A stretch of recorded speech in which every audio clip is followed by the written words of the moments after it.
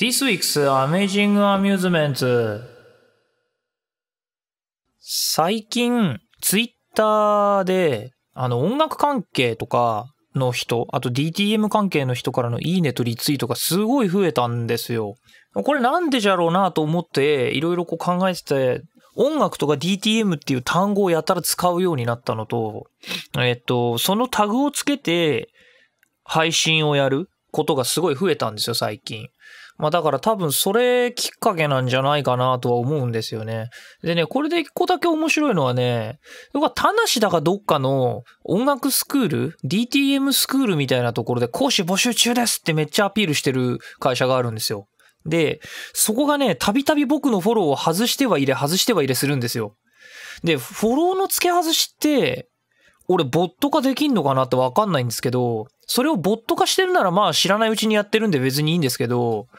あなんか意図的にやってるんだとしたらさ、いや、そんなこう、遠回しなアピールしないで、うちで働きませんかってはっきり連絡よこした方が早いと思うんですよね。あまあ他にもなんかね、いいねとリツイート僕がツイキャスとかやるとね、それ、なんか流すじゃないですか、ツイートを。いや、来てね、みたいな。いいねとリツイートはするくせに全然来ないっていうのは何なんでしょうね。中身を見てからいいねとリツイートをしろ。ヤマトリのラジオカンファレンス、たまにはヒールに始まるぜ。またラジオやるラジオ生活10年えこの企画何本目かですよ会議カンファレンス見ろこれがこじらせたクリエイターの生態だヤマトリンのラジオカンファレンス略してラジカン改めましてメインパーソナリティのヤマトリンです。まあまあそんな感じで。今週ね、あの、今週じゃないや、先週はね、あの、ラジオの更新めちゃくちゃ遅れちゃって申し訳なかったんですけど、土日忙しくって、えー、しかもその準備でね、先週すごい忙しかったんで、もうなんか全然なんかもうこう、ラジオ撮ってる暇がなしみたいな感じで、で、今もあんまりな撮る暇ないんですけど、今週末も忙しいんで、いや、まあ忙しいってありがたいね。正直ね、このコロナでね、逆に仕事増やした感じあります。あの増えたんじゃなくて増やした感じありますね。僕も。何があるか分かんないっていう危機感って大事で。なのでそれで俺気づいたんですけどあの人災じゃなくて、まあ、コロナは半分人災みたいなもんなのかな。ちょっとそこの是非は分かりませんけど3.11の時と、まあ、今からもう10年ぐらい前ですよね。3.11の時と今回のコロナの騒ぎであと結婚の時とえっとね人間って人生観が変わる瞬間ってあると思うんですよ。で、僕3.11で結構人生観変わったんですよ。9.11は中学生だったんであんまり変わりようがなかったんですけど、3.11は結構僕の中で人生観が変わって、その3.11きっかけで、えー、っと、あ、3.11って東北の震災ね。3.11と、えー、っと、あと結婚も人生観変わったんですけど、結婚で、今回のコロナの騒ぎで、3回結構大きく人生観が変わる事件が起きたんですよ。ま、なぜかあの結婚と災害を同じランクに入れるなって話もあるんですけどただまあ人生観が変わったっていう意味では重要なんで。ああと引っ越しだ。引っ越しが2回あるから順番的には3.11引っ越し結婚引っ越しコロナですね。っていう感じなんですけど俺ねその人生観が変わった瞬間ってねすげえ働くんですよ。で仕事変えるんですよ。仕事を変えるっていうのは働き方を変えるんですよ。で増やすんですよ仕事を。でライフステージが変わるんですよ。で基本的には改善されるんですよ僕。今回のねコロナ騒ぎではね、まあ、相変わらずの人生観チェンジのおかげでいろいろなことが変わりました。皆さんもねそういうことをね捉えてみるとね何か変わってると思います。やってみてください。ヤマトリンのラジオカンファレンス114回座して聞け。 Stay tune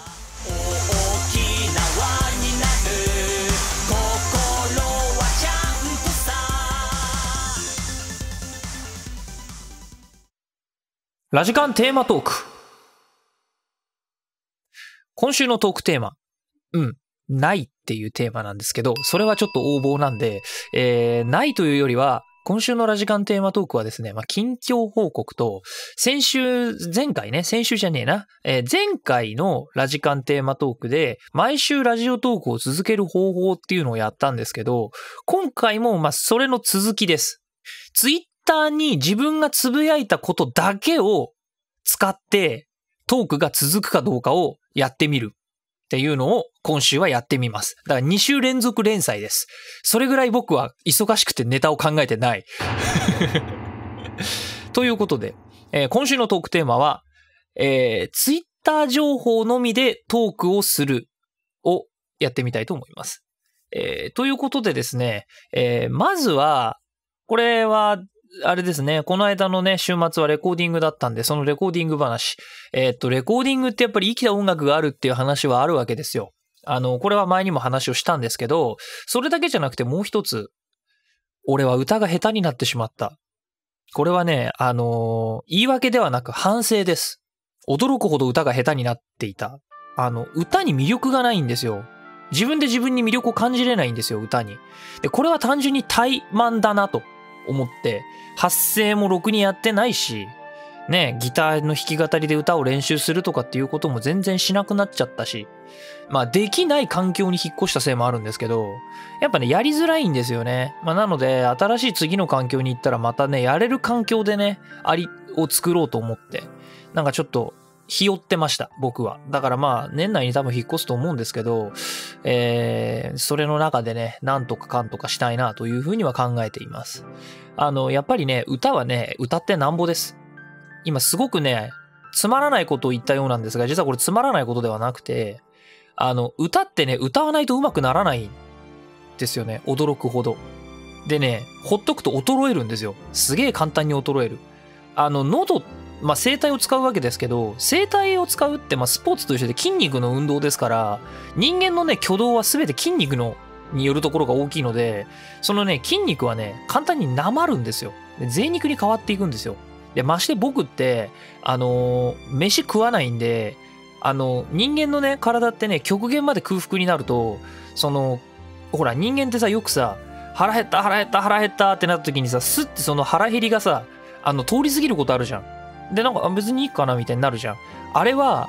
あの、腹減った、腹減った、エンプティってなった後に、あ、もうこのエンプティ状態で、さらに、もう供給がないんだっていうことが発覚した体がやることって、筋肉の分解らしいんですよ。で、筋肉が分解されて、要は糖質に変わってるから、あの、もう、飯を食わなくてもいい状態、空腹が抑えられてしまうっていうことらしいんですね。ですなわち、あの、代謝が落ちるってことなんですよ。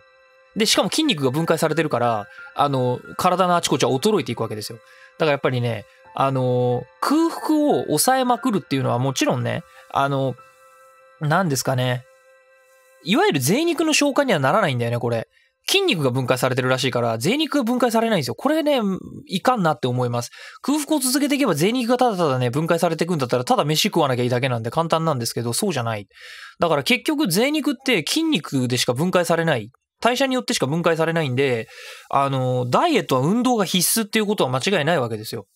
あの、僕はまあ、僕も常にダイエット状態のつもりでいるんです。僕簡単に太るんで、本当に簡単に太るんだよ。えっとね、コロナ禍で1ヶ月自粛で家にいたら3キロ太ったから、え、コロナ太り怖って思って。だからもう30超えた体はね、簡単に太る。皆さんも気をつけてください。はい。えーそんな歌うまくなりたいからダイエットに行っちゃいましたね。えー歌もね、カロリー消費大きいんですよ。だから、歌続けてるとね、簡単に太れないはずなんですけどね。そう、だからね、歌手で体がふくよかなタイプの人って羨ましいんですよね。あれはまあ、なんだろうな。まあ、代謝の問題もあると思うのと、あとインプットが多いんでしょうね。あの、歌歌うのってね、やっぱ体いるんですよ。あの、肉体そのものがスピーカーなので、スピーカーがさ、ほら、大きいライブ会場って当然スピーカーが大きいじゃないですか。ね。音ってのは空気の振動だから、その空気の振動を発生させるブースターはでかくないとダメなんですよ。だから、あの、強くて太い響きを、やっぱり作りたいってなったら、でかい体が必要なんですよ。本当に物理的に。だから、あのーなんだろうね。で、歌ってカロリー消費だから、どんどん僕は歌うと痩せてっちゃうところもあるんで、そう、僕太りやすくて痩せやすいからね。それも問題なんだけどさ。まあだからちょっと考えようだね。えー、そんな週末を過ごした私が、今週他にも思ったことなんですけど、えーっとね、ジャスラックが実は便利っていうのもちょっと気づきました。あの、すごくマニアックな曲のカバーを今回作ってるんですよ。で、インターネット上とかウィキペディアにさえ、えー作詞作曲者が記載されてなくて、どこにもないんですね。で、この作詞作曲の記載はどこにあるのか。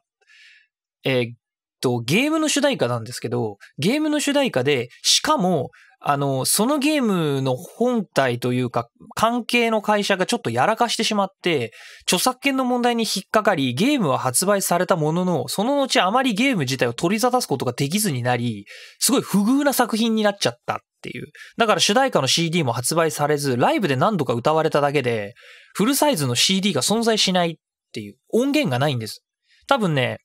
あのー多分作った制作会社には完成品の音源が存在すると思うんですけど、でも、リリース一切されてないから誰も聞いたことがないんですよ。その超レア曲が、あの、ニコニコ動画には、あの、ライブで歌ったよっていうのが公開されてるんですね。一応公式音声みたいなやつが。多分あのカメラワークだから公式音声っぽいんですけど、で、そのライブ会場で携帯カメラみたいな、でも携帯カメラみたいなの撮ってるから公式じゃないのかな？なんか携帯カメラみたいなので撮っただけのライブ音声があって、その音を僕は聞いて、多分こういう感じだなって言って無理やりアレンジしてカバーをやってるんですよ。それをどうやって作詞作曲者調べるかっていう。で、作詞作曲のクレジットを YouTube にしておかないと、YouTube でね、あの、ちゃんと、あの、原作者にお金が入らないので、僕ちゃんとパートナー登録みたいなやつするので、それでやると僕が YouTube にアップすると、再生されたら僕にも入ってくるけど、ちゃんと作詞作曲のした人にも分配があるんですよ。それをやりたくて調べたんですけど、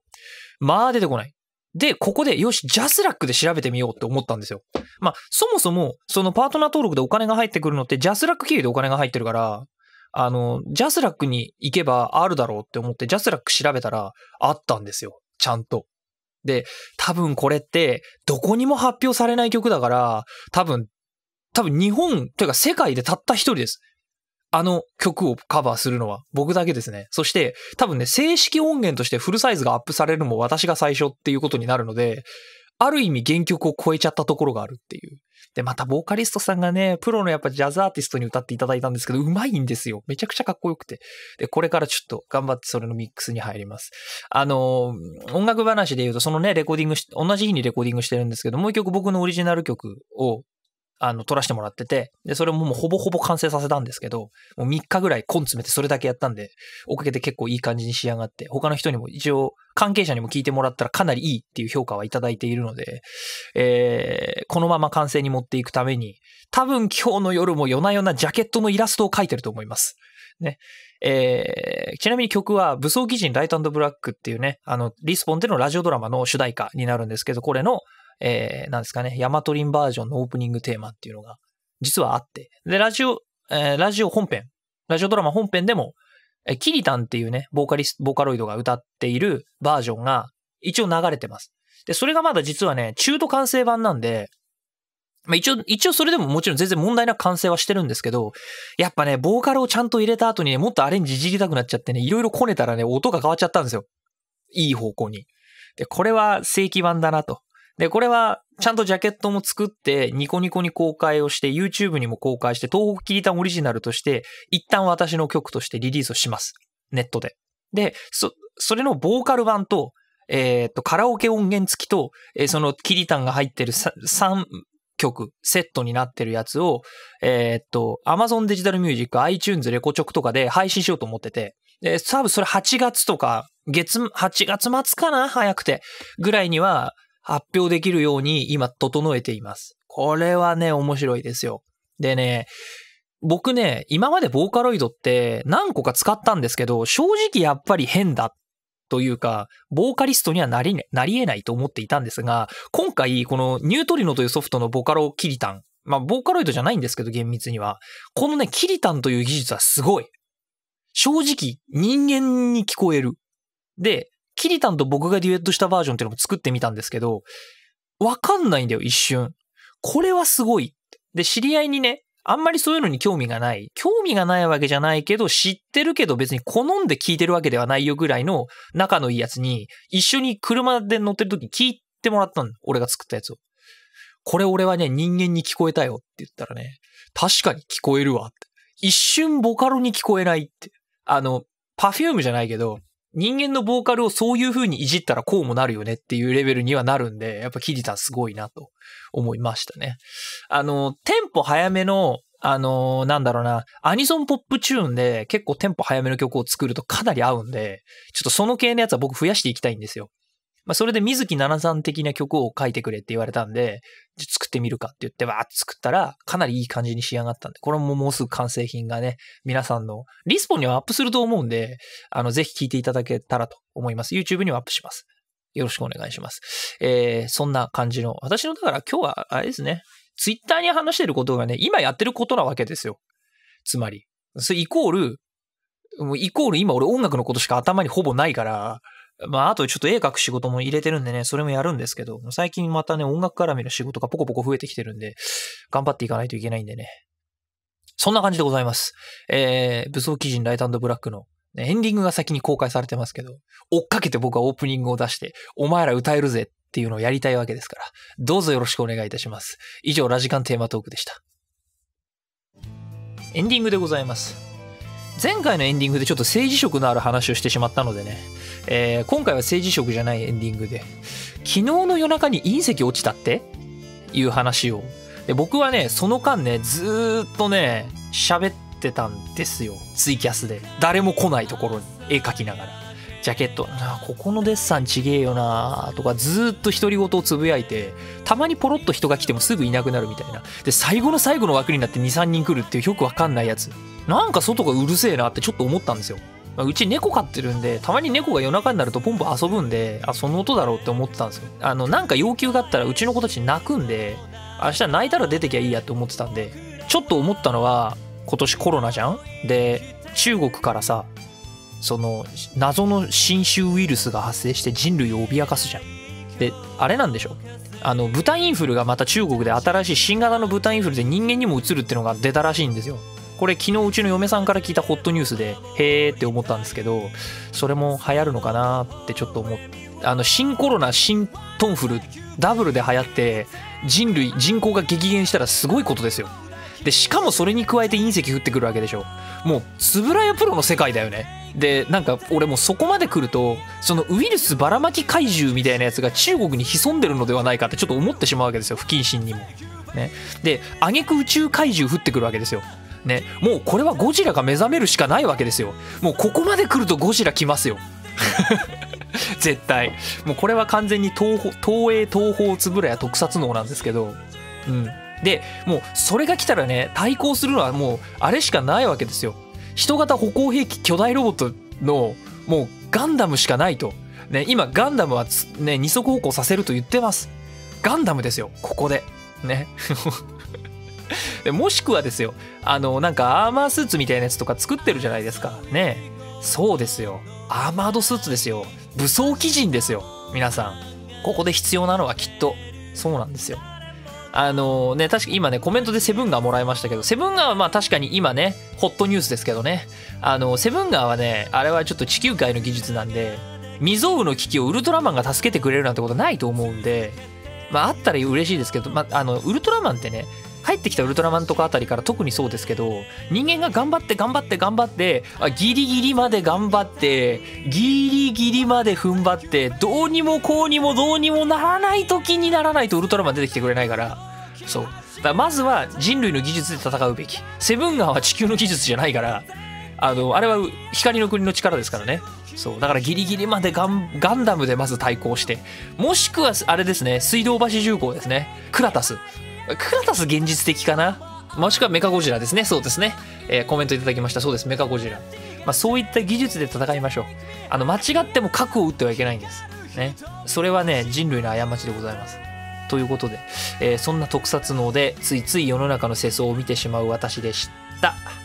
えー、告知、え、デビューシングル「ブレイブラバーズ」こちらの方の通販と、えー、この主題歌の各種配信サービスでの、えー、楽曲提供が始まっております、えー、Amazon デジタルミュージック iTunes レコチョク Google プレイミュージック Spotify 等々で、えー、私の音楽が発信しておりますのでいろんなところでヤマトリン調べてみてください。曲出てきます、えー、スーパーボイスサイズオリジナルサウンドトラックコンプリートベストこちらもダウンロード販売中。ブースでやってます、えー、リンクは下の説明欄にありますのでぜひそちらからどうぞ、えー、そして私ヤマトリンが音響監督をしました。ラジオドラマワンチャンス。全国版こちらも絶賛発売中、えー、ダウンロード販売もやってます。ます。ディスクの通販もやってます。ボイスドラマワンチャンスで検索。えっ、と、こちらの方はですね、なんと、えーステレオ、ラジオドラマで車が後ろから迫ってきてオーバーテイクしていくシーンなんていうのを音だけで楽しめるっていうイカれたラジオドラマです。まあ、イカれさせちゃったのは僕なんですけど、